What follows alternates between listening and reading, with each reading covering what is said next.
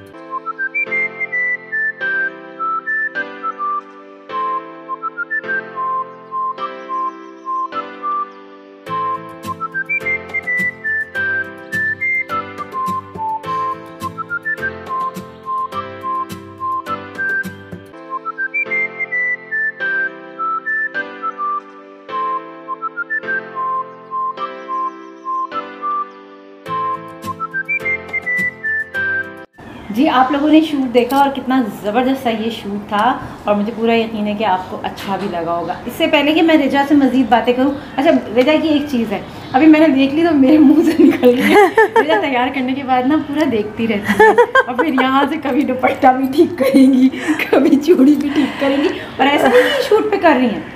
ये वैसे भी जो रियल ब्राइड जो तैयार हो रही थी, उसकी भी बड़ी केयर कर रही होती है। तो वो जो एक मोहब्बत का एक एलिमेंट है ना, वो नज़र आ रहा होता है कि किस चाहत के साथ इन्होंने ब्राइड को तैयार किया। अच्छा इससे पहले कि रजा से बात करें मारिया से तो पूछते हैं मारिया दुल्हन बन के कैसा लग रहा है? अच्छा लग रहा है। अच्छा लग रहा है। कैसा पसंद आया? जूड़ा आपको इतना खूबसूरत जूड़ा है और इसमें इतने खूबसूरत फ्लावर्स अरेंज किए हैं। मुझे तो रजा ये जो छोटे वाले हैं ना वाइट फ्लावर्स आई हाई मुझे बहुत पसंद है पसंद है ना? और असल पता है कि मेन चीज़ होती है कि आप कप, हमेशा ड्रेसिंग मैंने जैसे कहा ना कि अगर कपड़ों का रंग जैसा है फिर उसके लिहाज से आप कपड़ों का वो फ्लावर्स को चूज़ करें और उससे ये है कि जैसे हमने कहीं कहीं रेड का दिया है और ज़्यादातर वाइट और थोड़ा सा ऑफ़ वाइट कलर को सिलेक्शन हम्म। की है तो बालों में ये चीज़ें बहुत अच्छा बहुत जगहों पर मैंने यही चीज़ देखी है कि ब्राइड में सिर्फ़ फ्लावर्स लगा देते हैं लेकिन ये नहीं होता कि फ़्लावर्स को मतलब कैसे मेनटेन करना है कैसे नहीं और समटाइम आप देखें ब्राइड पे कितनी अच्छी मतलब स्टाइलिंग की होती है फ्लावर्स भी बहुत अच्छे लगे होते हैं। तो हमारा तो मकसद ही यही है कि आप लोग देखें और उससे कोई भी अगर आपको हिंट्स मिलता है तो आप ज़रूर अपनाइए। और अगर आपको कहीं पे भी ये समझ नहीं आती कि भी ये बनाने में क्या दुशारी होती है तो आप पूछ भी सकते हैं। हाँ बिल्कुल आप पूछ सकते हैं। कमेंट सेक्शन पे आप सवाल भी कर सकते हैं और रिजा हमेशा हर किसी के सवाल का जवाब दे देती हैं। और साथ साथ मज़े की बात है, मेरे अपने सवाल इतने होते हैं। मेरे सवाल के भी जवाब देते हैं। अच्छा मॉडल हमारी बड़ी कॉपरेटिव थी। और बहुत कॉपरेट किया है इन्होंने सारी चीज़ों में किस तरह से बैठना है किस तरह से क्या करना है। तो ये मैंने मॉडल को देखा कि वो नहीं था कि बेजारी नहीं थी। क्या है तो ये चीज़ नहीं थी। तो बड़ा एक हाथ होता है मॉडल का भी जब वो कॉपरेट करती है तो चीज़ें मज़ीद बेहतर हो जाती हैं। शगुफ्ता मेन चीज़ तो यही है हम लोग जब शूट्स करते हैं या कभी स्टेज पे भी शूट्स होते हैं तो मॉडल की की जो अपीरेंस होती है ना वो बहुत काउंट करती हैं। अगर वो लाइवली मूड की होती है तो वो आखिरी दम तक उसका देखें उसके फ़ोटो सेशन बहुत अच्छा होता है। चेहरा भी अच्छा चेहरा भी अच्छा चमक अब जैसे जैसे मेकअप जैसे गुजर रहा है देखें इनका ग्लो आता जा रहा है और चेहरे पर एक सॉफ्ट सा लुक फील हो रहा है। तो अगर आप गुस्से में बैठे होंगे तो कभी भी मॉडल अच्छी नहीं लगती। चाहे वो कितना ही खूबसूरत मेकअप कर ले लेकिन उसका लुक जो होता है ना, वो हमेशा ऐसे ही आता है। मतलब समझ नहीं आता कि मतलब क्या प्रॉब्लम है। हमेशा स्माइलिंग फेस आपको हमेशा काउंट करती है कि आप अपने स्माइल फेस के साथ हमेशा रहें। और बहुत ज़्यादा मेरा अपना ख्याल है कि मेक ओवर के वक्त जो है मेरी अपनी ज़ाती राय यही होती है कि अगर वो कॉपरेट करे खामोशी के साथ मेक ओवर करवाए तो ब्राइड बहुत अच्छी बनती है। हाँ। और मुझे ये तमाम चीज़ें बहुत अच्छी लगी मुझे पूरा यकीन है कि आपको भी अच्छी लगी होगी। चलिए जी हमारे तो बाय बाय कहने का टाइम आ गया क्योंकि हमें फिर वापस भी तो आना है। रिजा thank you so much Maria को थैंक्स कहेंगे क्योंकि मारिया बहुत पेशेंस के साथ और कॉपरेशन के साथ जो है वो काम यहाँ पर हमारे साथ इन्होंने किया। और पसंद आया काम है ना मज़ा आया? शूट में मज़ा आया। बहुत ज़्यादा आया। बहुत ज़्यादा आया ओके। चलिए जी शिक्षा यासमीन यानी कि एस और रिजा को दीजिए इजाज़त हम फिर मिलेंगे। खुदाफिज